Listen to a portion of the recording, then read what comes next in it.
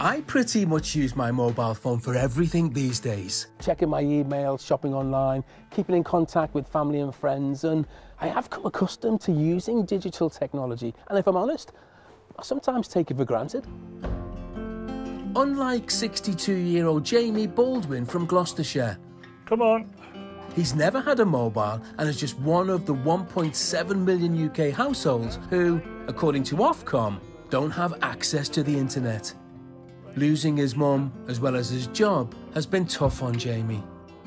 I had to live off £200 a month Wow, okay. and to run a phone on that and live off that is very hard. Not having a phone means it is hard for Jamie to keep in regular contact with family and friends. I've been through a very lonely time.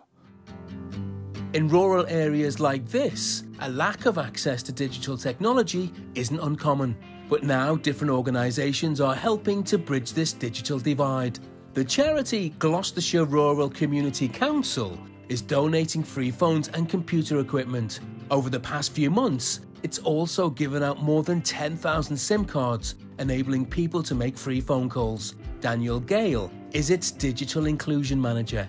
They last for six months. People get unlimited calls, texts, and 20 gigabytes of data. Because we're in the rural area, people assume that it's very affluent. However, there are areas of deprivation which are often overlooked.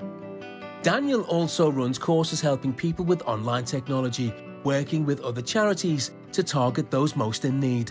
22 year old Abs is partially sighted and says receiving a SIM card has had a huge impact on his life.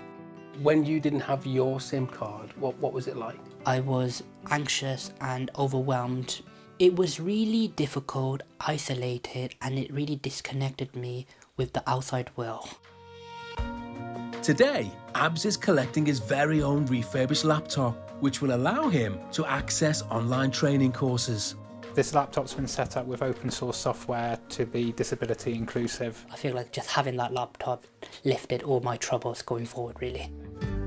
Digital hubs like this one are run in partnership with the NHS to tackle digital exclusion and get people using the NHS app to manage their repeat prescriptions and make appointments with their GP. I've got all the gear and no idea. At You the know. moment, at the moment. John actually put me NHS things on it. We managed to sign into all that, got all that sorted. I mean, there's that many different things on it. It's like a like a minefield. When one is young, you can pick it up so easily. But when you're older, you can't. Jamie has dropped by for a lesson on how to use the phone he's been given by the charity and to pick up a brand new SIM card. So it means Jamie can connect with anybody in the UK through the mobile network or anybody worldwide through the data. A, a very special moment, this, then, isn't it? Yeah. Armed with his new digital skills, he's able to FaceTime his cousin Emma 200 miles away in Norwich.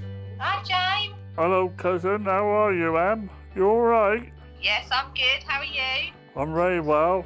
Do I look pretty? It's the first time I've done this. Oh, you look lovely.